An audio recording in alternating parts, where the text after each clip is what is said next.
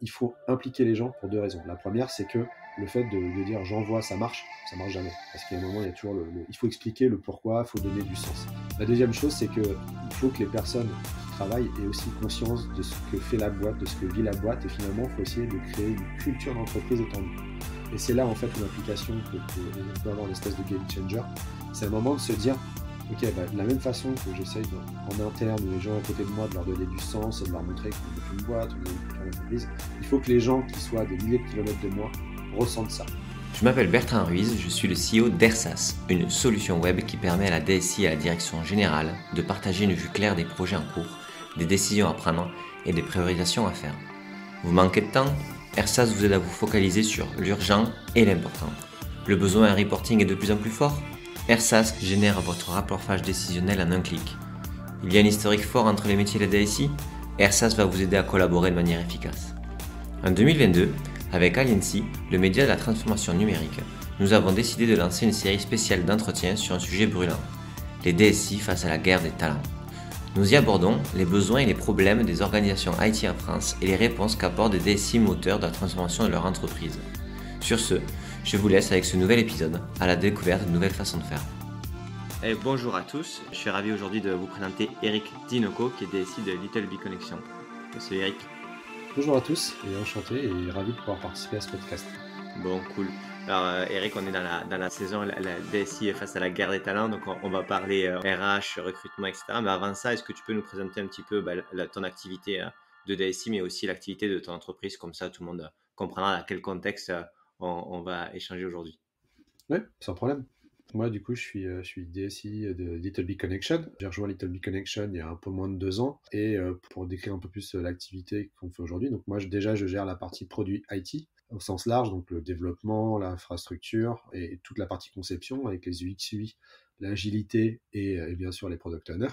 Et aujourd'hui, Little Big Connection, c'est un, un, provider de services SaaS qui met à disposition de profils, de talents, d'experts et de clients euh, une plateforme permettant de relier deux mondes et finalement de s'inscrire dans ce qu'on appelle le nouveau monde du travail, où euh, le statut n'est plus un, problème et où on met en relation des gens qui ont des expertises et des compétences avec des gens qui ont des besoins. Donc euh, une plateforme qui existe depuis 2013, qui a fait son petit nid et qui, on va dire, commence à être de plus en plus présente, puisqu'aujourd'hui on est présent sur quasiment tous les continents, avec des présences physiques et aussi euh, une plateforme et euh, une capacité à traiter euh, le business et les besoins sur à peu près toutes les zones du monde. Et du coup, pour être sûr de comprendre, concrètement, la plateforme a fait quoi? Ou les plateformes, s'il y en a plusieurs? Et c'est qui vos concurrents? Comme ça, on puisse se, se positionner un petit peu. Alors, aujourd'hui, je vais commencer par les concurrents on n'en a pas vraiment, puisqu'on est euh, une plateforme qui, propose actuellement deux modes de fonctionnement. Alors, il y en a un qui est assez connu, c'est finalement ce qu'on appelle la, communauté et un accès à une marketplace. Dans ce contexte-là, on peut se comparer à des Malte, des Comet ou d'autres. Hein, euh, et ensuite, il y a la partie.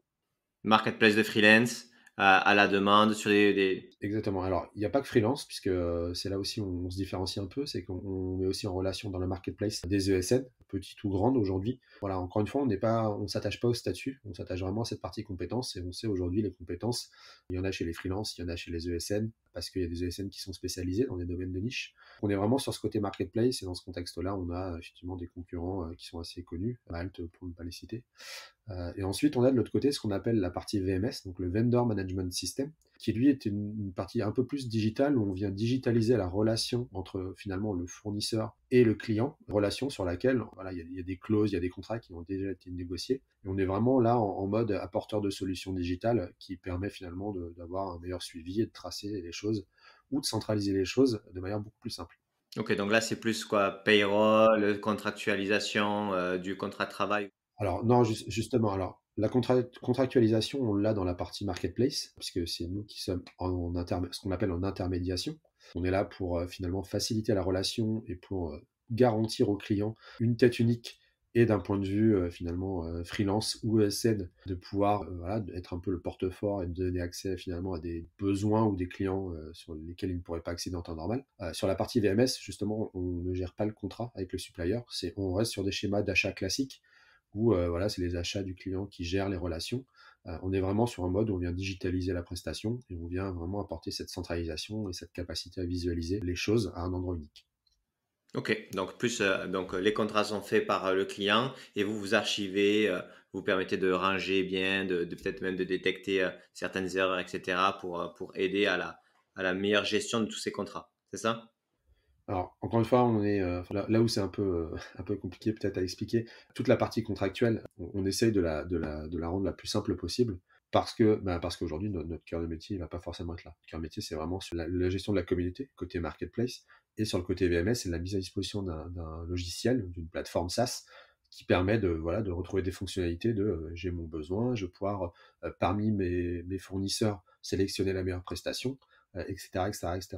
Le, contrat aujourd'hui quand on est dans le premier mode il est géré encore une fois en dehors de la plateforme, on n'a aucun regard là-dessus. Par contre sur la partie marketplace effectivement, on gère quand même une partie du contrat puisqu'on doit être capable, euh, d'un point de vue prestataire, de gérer la, prestation. Et donc, on doit être capable d'expliquer finalement quelles vont être les attentes. Et on, a dans ce contexte-là un contrat qui est fait entre nous et les, la personne qui va, enfin, les personnes qui vont intervenir. Par contre, vis-à-vis du client, il y a un contrat unique. C'est un peu ce qui est, ce qui, permet justement d'être ouvert, ou en tout cas le plus simple dans cette relation, c'est que le client, il a un contrat unique il ne signe pas N contrat et il ne se lance pas dans une gestion contractuelle euh, du besoin. C'est nous qui prenons en charge cette partie-là.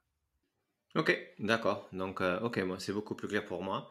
Et donc, du coup, euh, donc, euh, tu dis donc DSI, DSI où tu t'occupes, toi, bah, du coup, de la partie tech produit, où c'est le cœur de votre métier de, créer ces deux produits et de les développer. Tu vois, en mode startup, nous, ces DSI, là, on les appelle les CTO. Toi, tu, c'est pas du tout la garde des noms, etc., mais ça veut dire que tu gères aussi une partie autre que juste la partie, j'imagine, produit dans l'entreprise. Oui, il y, a, du coup aussi une partie de l'informatique interne, puisque aujourd'hui, on, met, enfin, voilà, il a, a, pas que la plateforme. Hein. On est à peu près 200 chez Little Big Connection. Donc, il faut pouvoir faire fonctionner les 200 personnes avec euh, tout ce qui est outillage interne. Je pense que c'est un peu le, terme ou le mot qui revient souvent. C'est l'histoire du Covid qui, à un moment, a, obligé les DSI à agir très rapidement sur leur IT interne avec euh, des VPN, euh, voilà, tout ce que ça peut amener. Bah, moi, j'ai aussi en charge cette partie-là, la capacité à, à permettre aux personnes de travailler euh, où qu'elles soient via, via une chaîne logicielle forte avec euh, voilà, du Jira, du Confluence, euh, un VPN, etc. etc., etc. Donc j'ai aussi cette partie-là. Ok, d'accord. Et donc du coup, donc 200 personnes, et donc tu as dans tes équipes tech, produits, enfin, c'est combien de personnes? Une centaine de personnes aujourd'hui côté IT.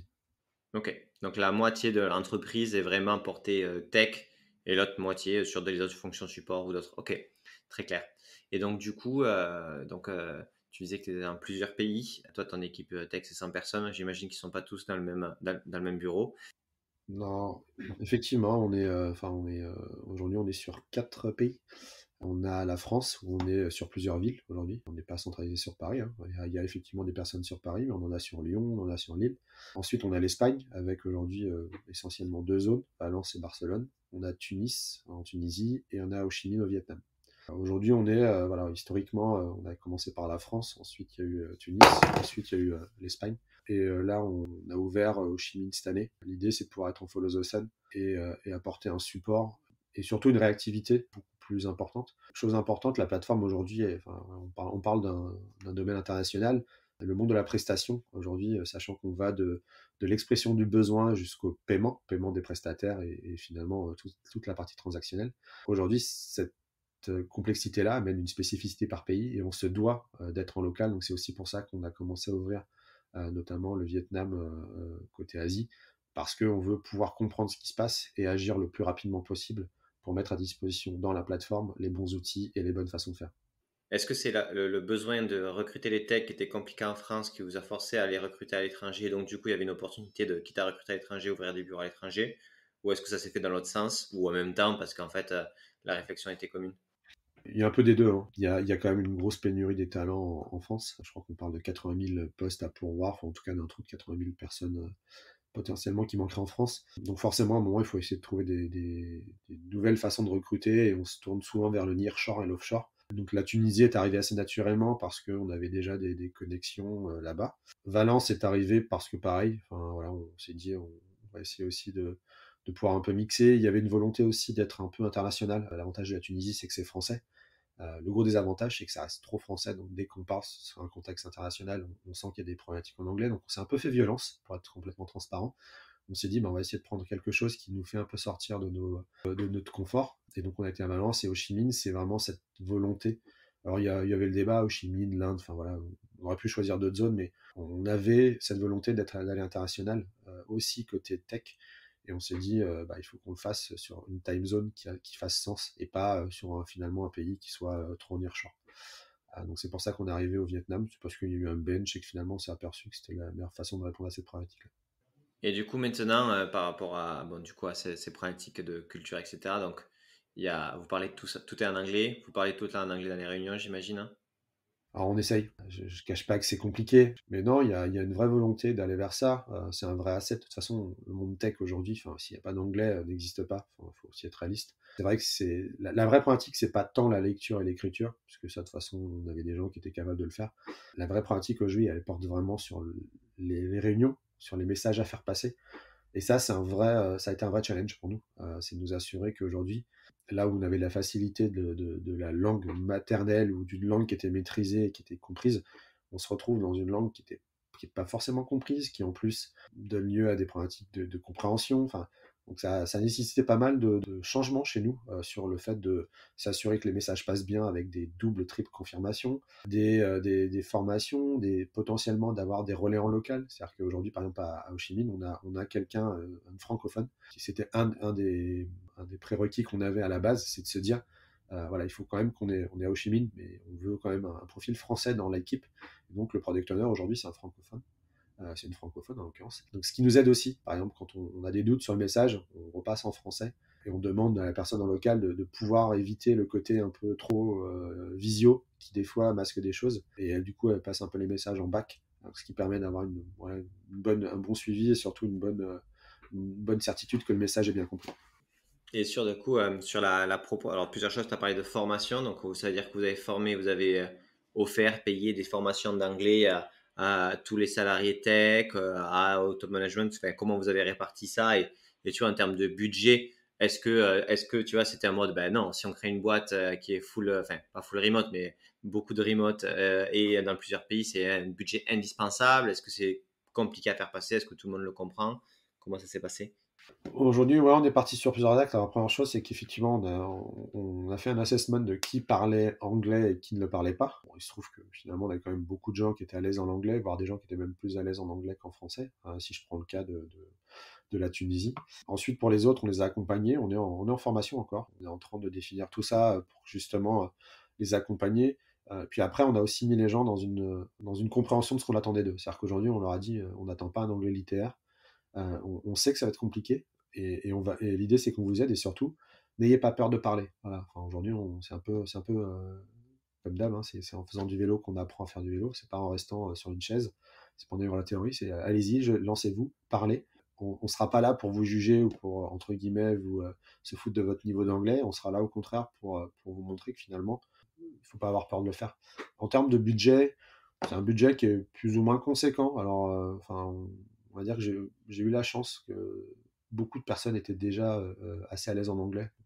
c'est vrai que si j'avais dû former les 100 personnes, le budget aurait été assez conséquent. Dans la tech, c'est plus simple. Si je compare un peu avec euh, mes, camarades du business ou euh, d'autres services sur lesquels l'anglais était moins nécessaire et, fait moins moins sens, ouais, c'est plus compliqué, notamment parce que, y a aussi une réalité, c'est que nous on le pratique au jour le jour. Donc on voit les progressions, les gens, les gens en fait se sentent de plus en plus à l'aise. Euh, et surtout, ils, habituent leur oreille. À côté de ça, il y a des gens qui le parlent une fois de temps en temps. Donc c'est ça aussi qui fait que ça, se fluidifie euh, de, notre côté, c'est qu'on a cette pratique euh, quotidienne de l'anglais, notamment dans les délits. Tous les matins, il y a, je crois, sur les, les 8 équipes ou les 7 ou 8 équipes qu'on a, il n'y en a qu'une qui le fait encore en français, tous les autres ont switché en anglais parce qu'il y a au moins une personne qui est anglophone, que ce soit à Valence ou au Chimie. Donc ça veut dire que les gens de facto, n'ont pas le choix. Ils doivent se mettre à l'anglais parce que, euh, bah, parce que euh, sinon, il y a quelqu'un qui est sur le bord de la route euh, dans leur équipe et ça, c'est quelque chose qu'on ne veut pas. Donc, ok, cool sur ça. J'ai encore deux, trois questions sur, sur l'organisation, des équipes.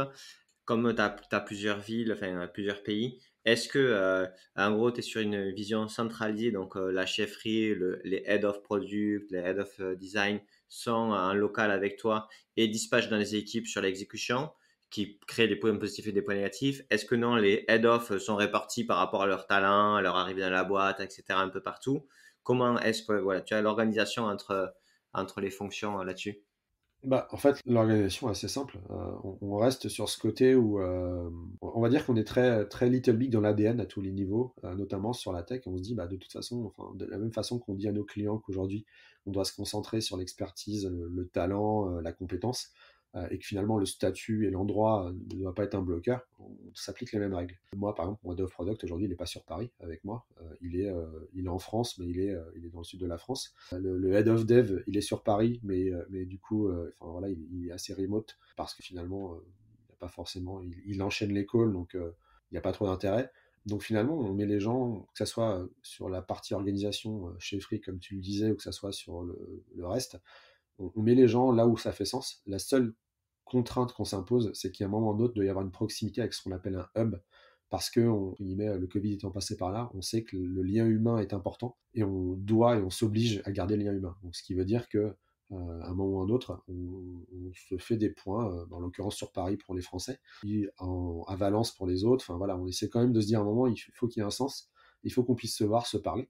Et puis ensuite, on s'organise un peu euh, comme en Scrum. Voilà, si on fait des délits tous les matins euh, avec, euh, avec finalement bah, les, les, head-off. Ensuite, chacun dispatch et on fait des délits. Donc on enchaîne comme ça et l'information circule bien. Et la communication est assez bonne. On utilise voilà, des outils Slack Teams. Ce qui fait que finalement, la proximité, bah, ou, en tout cas la capacité à se dire bah, on va se mettre dans une salle, on n'en a plus besoin.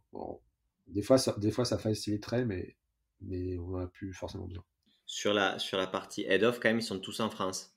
Alors, les head-off sont tous en France aujourd'hui, oui. Parce que, euh, parce qu'aujourd'hui, la réalité, c'est qu'on n'a pas trouvé d'autres profils euh, en dehors de la France. Mais c'était pas un c'était pas un requirement quoi. C'était pas un truc euh, on doit recruter les head en France pour pouvoir se synchroniser plus facilement. Non non non enfin non non non non non non enfin je pense qu'il y, a des devs, en tout cas sur le produit et sur les devs, il y a des gens qui sont très bien partout. La, réalité, euh, on, s'est quand même imposé la France parce que moi, je voulais quand même pouvoir monter des points avec eux et pouvoir dire si à un moment ou à un autre on doit se voir. La, réalité, c'est que la France est quand même beaucoup plus simple. Surtout qu'on a démarré les recrutements en période de Covid. C'est-à-dire qu'aujourd'hui, euh, potentiellement, prendre quelqu'un à Ho Chi Minh ou en Tunisie, euh, on savait très bien que le côté, bah, c'est pas grave, on le fait venir, c'était, bah non, potentiellement, on pourra jamais le faire venir, en tout cas pas de sitôt. L'avantage de la France, c'est que ça nous permettait vraiment de dire, quoi qu'il arrive, on est quand même, euh, même avec les confinements, on arrive quand même à trouver un moment pour se voir, parler. Ok, d'accord. Et donc, du coup, euh, tu vois, euh, les questions qui, qui, se posent dans ce type d'organisation, parce qu'en fait, aujourd'hui, donc, pareil, Gary était en ADSI, donc dans la tech de manière globale. Et donc, du coup, en termes d'organisation, tu veux, les, gens, il y, a, quand même plein de freins au recrutement à l'étranger. C'est encore très vu comme tu vois, dans les années 2000 euh, ou en mode, ben, les techs, on les prend en Inde parce qu'il n'y a pas besoin de technicité. Enfin bon, les gens sont revenus, ils ont compris que faire de la bonne tech, ça, nécessite, euh, ça peut le faire avec n'importe qui, mais c'est une organisation, etc. Et en gros, il y a encore beaucoup de freins sur, ben, en fait, on ne peut pas recruter en dehors du, même juste déjà du siège ou euh, du hub principal, etc. Alors, toi, tu es, très, es très tech et, et, dans une boîte qui fait un produit tech de, base comment tu comment tu vois en fait euh, le fait du comment tu, tu vois les freins comment vous avez levé de euh, c'est plus facile en centrale à, créer cette organisation? Comment comment tu, tu as un DSI qui vient te voir qui te dit bah moi ça fait euh, deux ans que je cherche 10 personnes sur Paris j'ai recruté zéro on va plutôt passer par Capgemini parce que du coup eux ils ont des techs versus toi tu dis non mais monte une équipe décentralisée ça va beaucoup mieux fonctionner qu'est-ce que tu lui dis à ce DSI alors, ce que je lui dis, c'est euh, aujourd'hui, euh, effectivement, il faut, regarder en dehors de la zone et il, faut ne faut pas tomber dans la facilité. Euh, il est vraiment évident que d'avoir tout le monde sur le même plateau, c'est enfin, top. Je pense qu'on on, trouvera difficilement mieux en termes d'organisation, en termes de facilité, encore une fois. Maintenant, la réalité, c'est qu'aujourd'hui, des talents, il y en a partout et qu'il faut se donner l'opportunité d'aller voir ailleurs en ayant conscience de ce que ça implique. Moi, par exemple, l'offshore, j'en fais depuis, ça va faire 15 ans que je fais de l'offshore. Euh, j'ai testé plusieurs choses. Hein. J'ai fait l'Europe de l'Est, j'ai fait euh, le Maghreb, j'ai fait euh, le Nearshore aussi. j'ai fait le Nearshore en France, j'ai fait le Nearshore sur, sur l'Europe. Enfin, voilà, j'ai testé plusieurs configurations. J'ai aussi fait l'Inde. Et à chaque fois, en fait, on va dire, le seul ingrédient qui faisait que ça marche, c'est l'implication que j'avais dans les équipes. C'est-à-dire que c'était pas, il, faut pas tomber dans le mode, bah ouais, je pars du principe que il y a des gens qui vont bosser, donc je leur envoie les trucs et ça va bien se passer. Il faut impliquer les gens pour deux raisons. La première, c'est que le fait de, dire j'envoie, ça marche, ça marche jamais. Parce qu'il y a un moment, il y a toujours le, il faut expliquer le pourquoi, il faut donner du sens. La deuxième chose, c'est que il faut que les personnes qui travaillent aient aussi conscience de ce que fait la boîte, de ce que vit la boîte, et finalement, il faut essayer de créer une culture d'entreprise étendue. Et c'est là, en fait, où l'implication peut, peut, on peut avoir une espèce de game changer. C'est un moment de se dire, ok, bah, la même façon que j'essaye en interne ou les gens à côté de moi de leur donner du sens et de leur montrer qu'on monte une boîte, on est dans une culture d'entreprise, il faut que les gens qui soient à des milliers de kilomètres de moi ressentent ça. Alors c'est plus difficile parce qu'effectivement, euh, il n'y a pas le côté euh, entre guillemets euh, petite blague du café ou, ou bah allez on va se prendre un petit on va se prendre un petit café, on va se prendre un petit déj tous ensemble. Enfin, c'est sûr que c'est compliqué. Par contre, il faut le faire, il faut se forcer à le faire, faut forcer. Alors c'est compliqué maintenant, mais il faut se forcer à aller sur place, il faut aller voir les équipes, il faut créer du lien, il faut, il faut, il faut pas mettre les gens de côté. Et en fait, en faisant ça, euh, alors je dis pas que ça marche à tous les coups, hein, mais je dis qu'en faisant ça, on se met dans les bonnes conditions de réussir. Ensuite, il y a le côté euh, les talents. Euh, les talents, voilà, tu parlais de l'Inde. En, Inde, il y a des mecs qui sont très bien. la problématique, elle est où? C'est que bah, on, retrouve, on retrouve les mêmes problématiques qu'en France. C'est que généralement, les gens qui sont bien à un moment, bah, il y a un coup derrière, il y a une rareté. Donc, il n'y a pas de secret, hein, ou en tout cas, il n'y a pas de mystère. Il n'y a pas aujourd'hui, il n'y a aucune zone dans le monde, on ne l'a pas encore trouvé, où finalement, c'est toujours la bonne pioche. Il y a toujours un moment, euh, il, y a, des personnes qui vont avoir, qui vont être ultra compétents. Bah, à un moment, ils vont être rares, ils vont être compliqués à trouver, ou ils vont être chers, et que ce soit en Inde ou en France ou n'importe où. Quoi. Et du coup, c'est super intéressant euh, le point que tu as, as donné sur. Euh, en fait, c'est pas parce que les gens sont à l'extérieur que ça te défausse ta responsabilité de boss, de manager, de donner du sens et d'impliquer les équipes. Ce qui est en fait un truc où toi, tu as l'impression que tu as moins de taf à faire parce qu'ils sont pas là. quoi. C'est bête, mais c'est des fois euh, un, automatisme euh, malheureusement que, que tu as si tu, tu le conscientises pas. Et le second point, tu dis, c'est que du coup, euh, tu dois te mettre dans une condition de savoir mieux communiquer, créer en fait des formats de communication parce que tu, tu penses ça. Et moi, ça me fait penser à ce que, en fait, ça c'est vrai quand tu es boss d'une grosse équipe, même en interne, tu es obligé de faire ça parce que tu parles plus aux 100 gars de ton équipe. C'est pas vrai, tu, tu tu as toujours euh, des gens avec qui ça passe mieux parce que ça fait plus longtemps, etc. Et qu'en fait, au final, ton cercle de gens avec qui tu parles toujours, c'est vraiment ces 10 personnes. Et donc, du coup, en fait, tu te retrouves plus rapidement dans une situation où euh, ta communication en termes de manager ou de boss, elle doit avoir un niveau d'excellence, de fréquence, de qualité beaucoup plus forte dès que tu fais du remote. Parce que bah, si tu n'as pas ça, l'équipe, elle n'existe pas. Et donc, du coup, ça veut dire que toi, tu te positionnes en tant que tech, mais avec un fort degré de communication. Ouais, tu as ça, et, en fait, j'ajouterais pertinence, parce que il faut que ta com soit pertinente. Il faut que finalement, tu tombes pas dans la facilité d'utiliser des mots qui, ont, qui font sens pour, euh, entre guillemets, des gens qui, à côté de toi, ont l'historique. Il faut que tu comprennes bien que ta com, aujourd'hui, euh, ne doit pas faire de raccourcis, ne doit pas finalement euh, faire abstraction de certaines parties qui font perdre du sens. C'est vraiment ça qui est important. C'est, tu parlais d'excellence, ouais, c'est vraiment l'excellence, c'est de se dire aujourd'hui, la com, c'est pas juste envoyer un email et dedans à envoyer une tartine, c'est aussi de se dire un moment, peut-être il vaut mieux se parler. Peut-être qu'à un moment, effectivement, il faut, faut, faut, faire un support. Peut-être qu'à un moment, il faut, faut, prendre le temps d'expliquer. C'est-à-dire, plutôt que de faire une com one shot, c'est de faire deux, trois com pour, pour donner le sens. Enfin, il y a effectivement un, un vrai besoin de s'attarder sur, sur cette communication et de prendre en compte la dimension multiculturelle. Ça, c'est important parce qu'aujourd'hui, euh, ta communication, encore une fois, enfin, souvent c'est de l'oral ou de l'écrit. Et, quand tu utilises par exemple l'anglais, qui est ni la langue native de l'un ni de l'autre, tu dois t'assurer que le, finalement le, mot que tu vas utiliser soit bien compris de l'autre côté de la même façon, et, surtout que bah, l'idée de base soit, vraiment intégrée. Et, ça, ça demande effectivement beaucoup de choses, potentiellement de, de doubler ta com. Voilà, tu vois, c'est comme tu disais, c'est une charge de travail. Ce que tu as dit, ça, tu l'as dit, ça fait plusieurs fois que tu dis de doubler la com, d'être sûr que le message, euh, ce que j'ai voulu dire, c'est bien ce qu'il a compris parce qu'on est tous les deux euh, pas, on utilise la langue qui est pas native. Quand tu dis qu'il y avait une personne en local qui pouvait double checker la compréhension et parce que cette personne en local, toi, tu peux parler avec elle avec ta langue native et sa langue native à elle. ça, c'est quelque chose que tu as, as pu voir que c'était nécessaire d'avoir un double check sur plein de communications comme ça. Il y a plein de raisons pour lesquelles un, message ne peut, ne peut pas être compris. Parce que bah, tu vois, ça fait sens par rapport à ton cœur d'activité enfin, le cœur d'activité de la société, ce que vous faites, etc. Donc, euh, c'est quand même hyper lié. Toi, quand, euh, quand tu recrutes, en fait, et quand tu veux recruter à l'extérieur, que soit, on est d'accord, quel que soit le, type de contrat, mais quelqu'un avec qui tu vas t'engager à travailler quotidiennement et pendant un temps plus ou moins long, mais pas, pas forcément déterminé, comment tu fais pour attirer des talents qui sont quand même des talents à l'étranger, qui même si c'est peut-être moins concurrentiel qu'en France aujourd'hui, ça changera. C'est, comment tu fais pour, euh, pour t'adapter en fait en termes de culture, de message, euh, d'explication de ce que tu fais, de leur donner envie, parce que ok, il y a le salaire et que bah, du coup vous êtes une boîte européenne et, du coup forcément ça, sur certains pays ça a déjà un attrait, mais vous n'êtes pas les seuls à être là-bas. Il y a quand même de la concurrence.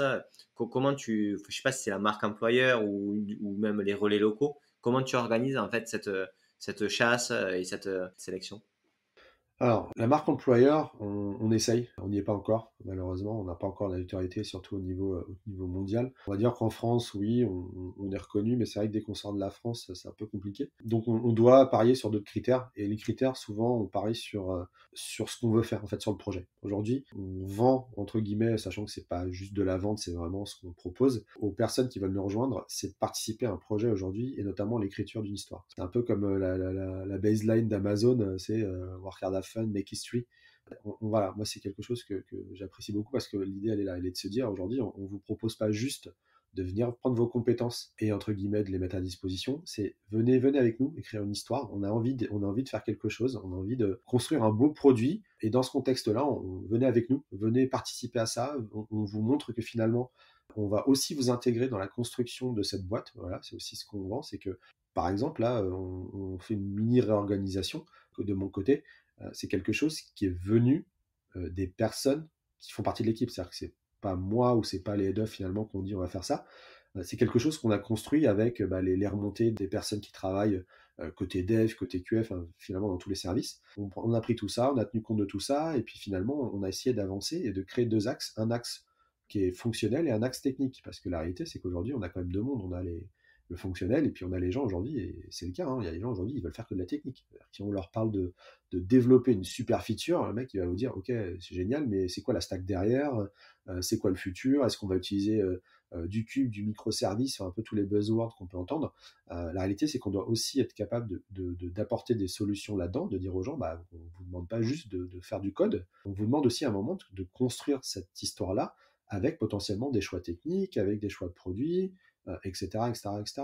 Donc c'est vraiment ça, je pense, euh, qui fait la différence, c'est que en entretien et dès le début, on explique clairement ce qu'on attend de la personne et pas juste sur le côté compétence. On lui dit, ok, rejoindre Little Big, c'est ça, c'est écrire une histoire. En tout cas, c'est avoir une volonté d'écrire une histoire et participer à l'histoire, pas juste l'écrire. C'est aussi être là sur les. Et ça, vraiment, les gens, hein, les gens dans tous les autres pays, etc., ils sont. Euh, enfin, tu vois, c'est pour dire les choses crûment. Et c'est vraiment important pour eux c'est pas juste la boîte européenne qui paye mieux. Juste, mais c'est bête hein, ce que je dis peut-être, mais tu vois, c'est une question quand même qui se pose. Alors, oui, non, la question se pose, parce qu'à un moment, de toute façon, il y a, y, a, y a, quand même le salaire. Hein. Qu'aujourd'hui, euh, si, euh, on n'est pas capable d'être cohérent sur toute la chaîne, euh, ça marchera pas non plus. Par contre, la réalité, c'est qu'aujourd'hui, on, on, a dans certaines zones, en fait, la guerre des salaires. C'est-à-dire qu'aujourd'hui, on, va être, on va être les personnes qui payent le mieux. Dans, dans deux semaines, c'est fini. Il y, a un acteur qui arrive, euh, qui a décidé absolument de recruter des équipes et qui sort l'artillerie lourde. Et dans ce contexte-là, aujourd'hui, le salaire, si on joue à ce jeu-là, on, escalade et puis on, on, finit jamais. Quoi. Euh, donc il faut, il faut être capable, alors il faut être honnête, hein, il faut être capable de, de, se tenir au courant des salaires, de, de, ne pas non plus avoir des politiques de sous-payer les gens. Par contre, faut, faut pas baser tout sur le salaire, parce qu'aujourd'hui, le salaire, c'est, enfin, on, perd, on, perd toujours la guerre. En fait, il y a un moment, on la perdra toujours. Euh, donc, il faut travailler sur d'autres axes. Alors, la marque employeur est important, parce que c'est une notoriété, c'est un moment ou un autre, c'est ce qui fait aussi qu'on attire les gens. Ça, on travaille dessus. En tout cas, c'est plutôt le côté marketing où effectivement, ils travaillent sur être capable de, mettre Little Big sur euh, des marques qui sont reconnues euh, dans, les zones où on veut être aujourd'hui. Après, on peut pas attendre ça. On peut pas attendre ces choses qui, c'est des projets qui prennent six mois, un an au moins. On peut pas attendre six mois que la marque soit reconnue pour se dire, bah maintenant c'est bon, on va recruter. Donc, on, parie sur d'autres, d'autres choses. Les projets, voilà, on parie sur les projets et finalement ce qu'on veut faire. Et aujourd'hui, la dimension internationale. C'est vrai que ça plaît beaucoup quand on explique qu'aujourd'hui on travaille sur une plateforme internationale, qu'on est au Canada, qu'on est en Inde, qu'on est, euh, qu'on est en Europe, euh, qu'on a veut targeter euh, l'Amérique du Sud, qu'on veut targeter la Chine. Enfin voilà, finalement aujourd'hui on, veut travailler sur un produit qui qui est pas localisé, qui est pas refermé. Ouais, ça, ça aide aussi. C'est le côté international, le côté ambition, le côté aussi multi-utilisateur. Et est-ce que tu penses que dans la façon de concevoir le produit, le fait d'avoir une équipe multiculturelle, ça vous évite des écueils d'être dans l'expérience utilisateur trop orienté sur une culture? Non, justement, on n'y est pas encore. C'est un des challenges qu'on a. par contre, oui, c'est un, vrai point et qu'on espère pouvoir craquer très rapidement. Le fait que si on veut avoir un produit international, il faut effectivement que, l'expérience soit internationale.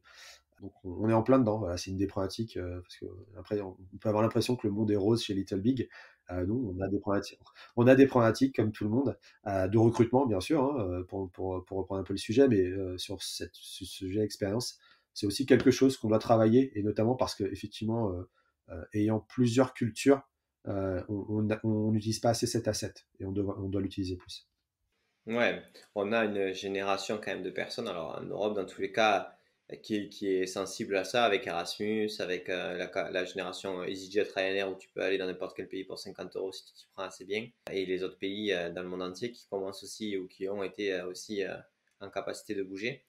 Est-ce que tu vois aussi une mobilité, euh, pas une mobilité, mais un remote qui se développe en France sur la partie euh, vraiment euh, des gens qui étaient sous le radar en tech, mais qui ont, parce qu'ils n'ont jamais eu envie de bouger de leur petite ville, petit village, ou, et qui n'étaient pas dans le circuit, qui commencent à émerger et que du coup ils travaillent maintenant avec, avec, avec, sur des plateformes comme, comme chez vous ou même avec vous Ou est-ce que c'est plutôt l'émergence de dev vraiment partout dans le monde qui fait la diff?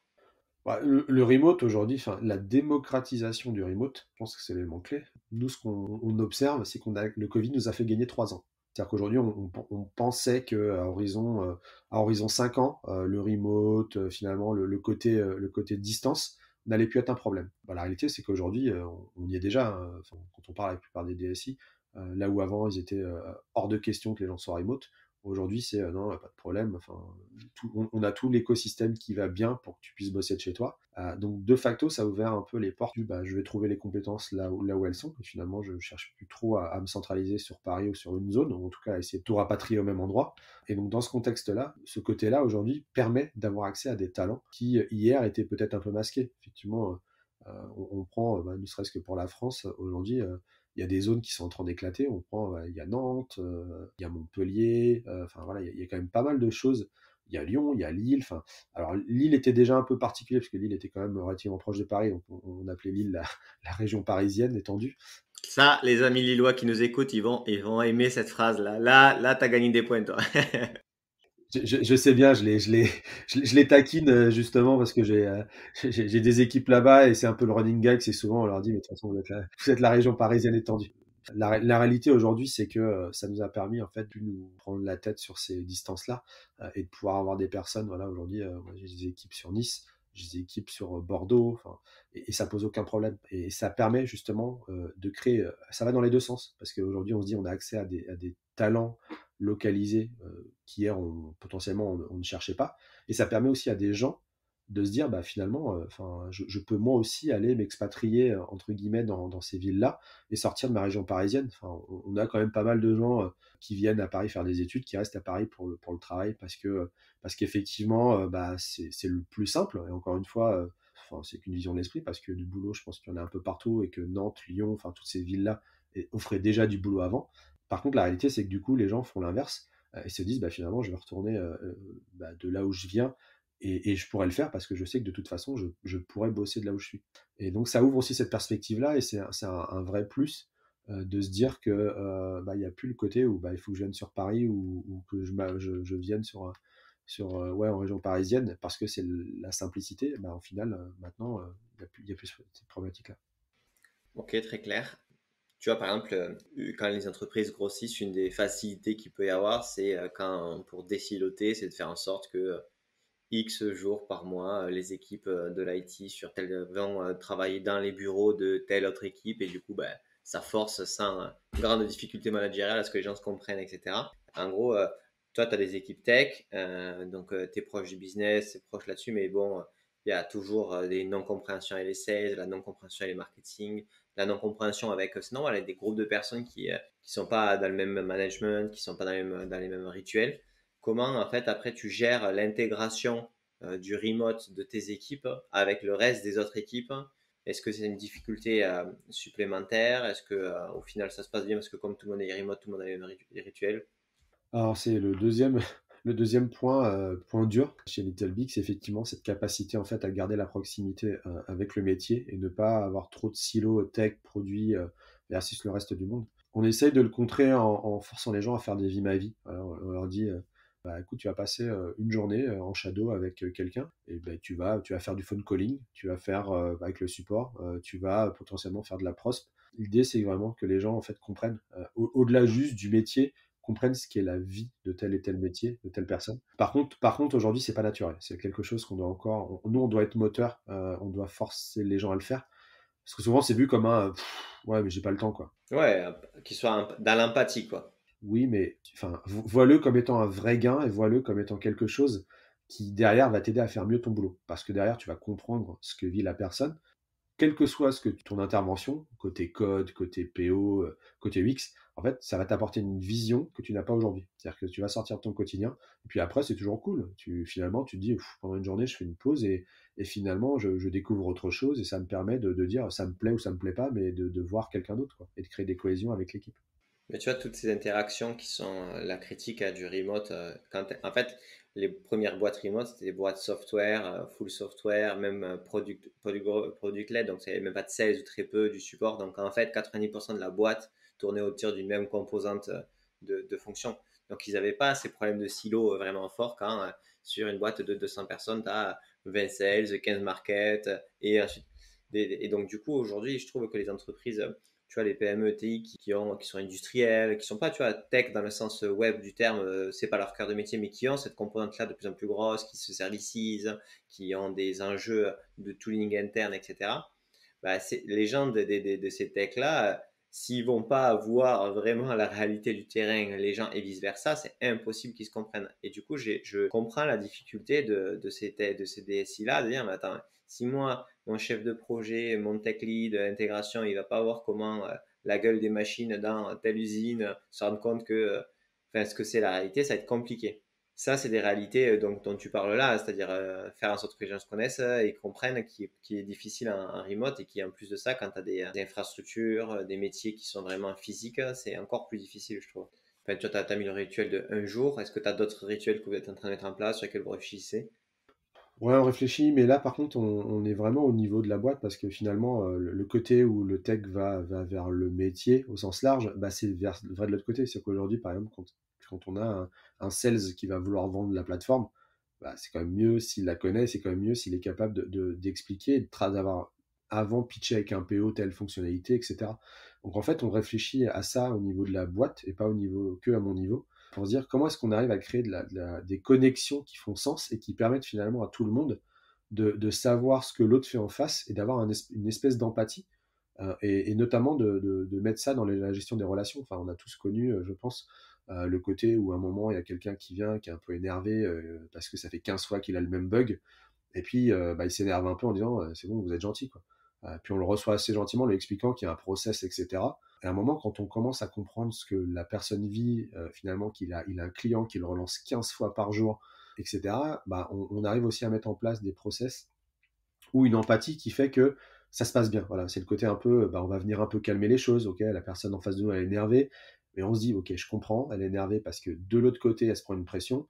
Et, ça aussi, c'est ce qu'on essaye de faire, c'est se dire, bah, finalement, en connaissant les autres, on arrive aussi à adapter un peu notre, notre façon d'être et finalement on fluidifie les relations et surtout on, apporte vraiment des solutions. Donc c'est un peu tout ça le, constat qu'on fait, c'est qu'on doit faire ça au niveau de la structure, pas juste au niveau de l'IT ou du produit, parce que ouais, donc clairement c'est structurel de l'entreprise. Et, euh, et, ça, tu penses pas que c'est le, principal écueil de, de, de ou euh, dire euh, point dur là qu'il faut qu'on arrive globalement en entreprise à trouver des façons de faire c'est-à-dire ne, pas recréer des nouveaux silos beaucoup plus éclatés parce que les gens ne se voient pas en fait. Ah, c'est un challenge, c'est un vrai challenge le, remote, hein, et euh, on n'a pas encore parlé du management du remote. Je pense que c'est le, je pense que c'est le point le plus compliqué aujourd'hui à gérer, c'est euh, finalement comment on arrive euh, à avoir des managers qui, dans ce contexte de remote, s'y retrouvent et surtout euh, arrive à, se projeter, arrive à travailler efficacement. Effectivement, le, contexte de garder de la proximité euh, intelligente dans ce contexte de décentralisation, d'équipe éclatée et de remote, euh, c'est un vrai challenge. C'est un vrai challenge et, et, ça rejoint un peu bah, le, côté culture entreprise que je, que je disais tout à l'heure, c'est que on, doit réinventer. Alors il y a des entreprises qui se sont fondées sur ce concept d'être finalement éclaté et ça marche très bien parce qu'en fait ils ont depuis le début c'est naturel pour eux. Par contre, quand on fait l'inverse, on est habitué à avoir quasiment tout centralisé, euh, d'avoir un vrai, quelque chose de, de, siloté euh, et de devoir passer sur quelque chose où on n'a plus des gros silos, mais on a des mini silos et on, crée un espèce de réseau avec des interconnexions dans tous les sens. Effectivement, on a un vrai challenge là-dedans et c'est un, vrai problème sur lequel il va falloir se pencher. Et est-ce que tu penses qu'on se rapproche pas de, Bon, tu vois, le mot agile, il a été euh, galvaudé de ouf, surtout, tout le temps, agile, tout, tout, tout est agile. Mais euh, tu vois, plutôt de. Tu vois, les, les, communautés open source, ce sont des fonctionnements extrêmement décentralisés où il y a une centralisation. Il y a quelqu'un qui, à un moment donné, il possède le repo et, et c'est lui qui, au final, choisit, ou dans tous les cas, il y a, il y a une gouvernance là-dessus, tu vois. Mais les gens contribuent, échangent entre eux, euh, proposent, etc., etc. Et en fait, on s'aperçoit que plus tu as ton entreprise qui est éclatée, plus en fait on retrouve des fonctionnements euh, qui sont euh, de, groupe à groupe entre eux et pas forcément vers le haut et à un moment ça remonte. Et donc du coup, est-ce que tu ne penses pas qu'on est plutôt dans, un, dans une recherche d'une nouvelle forme d'organisation où c'est des, euh, des c'est plus cinq grands silos mais plein de petits groupes partout qu'on va essayer d'interconnecter entre eux et qu'ils puissent comprendre ce qu'ils sont en capacité de faire seuls, ce qu'ils sont capables de faire par rapport aux autres et qu'est-ce qui doit remonter ou pas pour que en fait euh, le management qui doit à un moment donné euh, donner des règles du jeu ou trancher puisse le faire sur ce qu'il doit vraiment faire et pas sur tout, pas sur tout, tout le temps et que les choses puissent avancer. Bah, en fait, je pense que ton point de départ est, le bon. C'est qu'aujourd'hui, on a, on a des modèles. Le modèle open source est un modèle qui marche aujourd'hui où, où tu n'as pas forcément de vrai silo. Enfin, chacun bosse de son côté, chacun bosse sur sa partie. Euh, puis à un moment, ça remonte. Et comme tu dis, à un moment, il y a quelqu'un qui est quand même honneur et qui prend la décision basé sur des KPI, basé sur des remontées, de, de, décider telle ou telle chose. Et en fait, la réalité, c'est que dans une communauté, dans l'open source, souvent on est drivé par un, sens, par un, but commun. Et on en revient un peu à ce que je disais tout à l'heure, c'est que finalement, en, travaillant plus sur le but, sur, en expliquant ce qu'on veut faire tous finalement, mais chacun avec nos objectifs. Là, on peut commencer à parler des OKR, hein, les OKR au niveau de l'entreprise, qui descendent sur chaque service, etc en fait, on reproduit ce mode-là. Et, effectivement, je pense que ça sera le mode le plus simple pour commencer à résoudre ce, problématique-là, cette problématique-là du remote, c'est de dire, bah, on travaille chacun sur des objectifs qui font sens à notre niveau, mais par contre qui s'inscrivent dans, dans un objectif global. C'est-à-dire qu'effectivement, à chaque fois, on, va essayer d'apporter notre pierre à l'édifice. Alors, euh, est-ce qu'elle est bleue, est-ce qu'elle est rouge? Bon, finalement, c'est à nous de le décider. Par contre, à la fin, on veut construire un mur. Et, c'est ça, en fait, je pense, qui va faire la différence, c'est de, comme tu dis, de, reprendre un peu ce modèle de l'open source, de reprendre les bonnes règles, en tout cas les, bons ingrédients qui font qu'aujourd'hui, bah, ça marche. Hein. Il y a des produits aujourd'hui euh, qui fonctionnent sur l'open source depuis des années, il n'y a aucun débat. Euh, il y a des langages, ça, touche tout. Et je pense qu'effectivement, c'est euh, un moment, sans aller jusqu'à copier-coller, à se dire qu'il y a quand même des bonnes choses à reprendre et à les appliquer, et à puis bien sûr les adapter à, la sauce de l'entreprise, parce qu'à un moment, l'open source, euh, bah, il y a quand même des, contraintes qui font que dans une entreprise, ça ne fonctionne pas. Ouais, mais on est en train de rechercher des modèles plus éclatés par petits groupes, hein, euh, ou dans tous les cas, comme nos, entreprises sont aussi internationales ou à vocation à l'être, dans tous les cas multiculturelles, et que donc du coup, euh, si ça c'est vrai, ben, les organisations cibles en fait doivent correspondre à ces, à ces enjeux-là, en fait, international, plus petits groupes, etc. Et ça, c'est intéressant, mais euh, c'est vrai que autant sur des entreprises full web, il y a des choses qui sont euh, vraiment bien, euh, on va dire, documentées, parce qu'il y a des entreprises qui ont été pionnières là-dessus depuis 20 ans, autant sur les entreprises qui sont pas du tout full web, mais plutôt historiques, qui ont plus d'un siècle et qui ont ce genre d'enjeu, là, là, on est sur d'autres thématiques. Ouais, moi j'ai bossé un peu dans le retail. Et il y a une image qui m'a un peu, euh, qui m'est restée en tête et qui, je pense, résume assez bien euh, cette pratique-là, c'est de dire que souvent les entreprises qui sont là depuis des années, enfin des dizaines d'années, bah, leur, euh, leur challenge, ça va être de faire courir l'éléphant aussi vite qu'un lévrier. C'est-à-dire qu'ils ont la puissance d'un éléphant, ils ont l'intelligence d'un éléphant, voilà, ils ont, ils ont, ils ont la, corpulence d'un éléphant, donc vraiment le mastodonte. Par contre, ce qu'on leur dit, bah maintenant, il faut courir aussi vite qu'un lévrier. Et c'est là où ça c'est là où ça commence à devenir compliqué. Et je trouve que l'image est assez est assez, assez parlante d'elle-même parce que c'est exactement le challenge qu'on a, c'est qu'aujourd'hui on est dans un monde qui bouge très vite. On est dans un monde où finalement aujourd'hui on prend une décision, bah, demain potentiellement elle est déjà obsolète. Et on a, on a des structures aujourd'hui qui sont, qui sont euh, lourdes, mais dans le bon sens du terme, voilà, parce qu'il y a un historique, parce qu'il y a un vécu. Et effectivement, c'est un challenge. C'est comment est-ce qu'on arrive à, lier les deux mondes et, à faire courir cet éléphant aussi vite qu'un lévrier. Ben, c'est super intéressant. Et en fait, au final, ce qu'on revient sur l'enjeu que c'est la capacité de créer les bonnes organisations pour que les gens puissent être heureux de travailler et être performants.